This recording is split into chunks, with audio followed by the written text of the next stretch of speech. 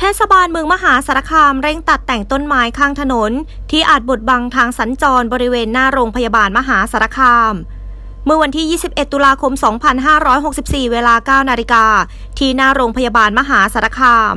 นายธัญสุดบริหารธนาวุฒิรองนายกเทศมนตรีเมืองมหาสารคามนำเจ้าหน้าที่งานสวนสาธารณะสำนักช่าง และเจ้าหน้าที่เทศกิจสำนักปลัดเทศบาล ออกตัดต้นไม้เพื่อปรับภูมิทัศน์ให้ปลอดภัย สวยงาม และเป็นระเบียบเรียบร้อย